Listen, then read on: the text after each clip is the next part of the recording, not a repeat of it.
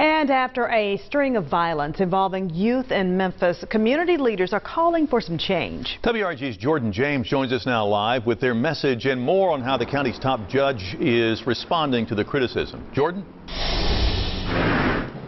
Greg, frustrations are growing for many in the community following this string of violence. At least six teens have been shot over the past couple of days. After countless scenes of shootings involving youth, a community is nearing its breaking point. It's time out for business as usual. It's time out for them to come for a photo op. The recent spike in violence has kept organizations like Rioteers busy. Typically, they host mock demonstrations spreading awareness about the impact of violence, but have had to push those back. You know, our hands is full, and they, you know, they're not looking at the fact that, you know, these parents are suffering losing these babies. You know, the kids are our future. If you're going to kill all of them, what future we going to have? Nearly 80 children are locked up at Shelby County Juvenile Detention Center. Over the last few months, that number has increased.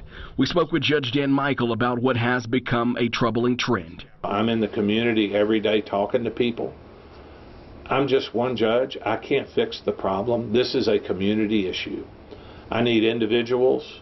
I need corporations. I need churches. I need everybody. Judge Michael says their mission is to rehabilitate youth who come through the program.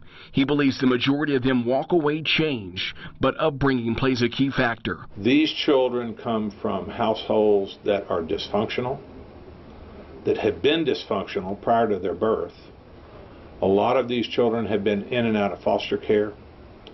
They've been in trouble or they've been abused and neglected as young children. In recent weeks, there has been criticism about youth not facing harsh enough punishment. Michael says it's determined on a case by case basis. We're trying to keep them out of trouble. We're trying to give them the resources they need so that they don't get in trouble again. And if they do and they continue that, the road can be rough for them.